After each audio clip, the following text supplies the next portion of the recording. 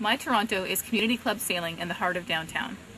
It's leaving the stress of the workday to enjoy an outing on the lake. Community club sailing is our way of relaxing in a cottage-like setting while staying in the city. It's about challenging yourself with learning new skills and relaxing at the same time. It's about meeting new friends and socializing with old friends. I love it here.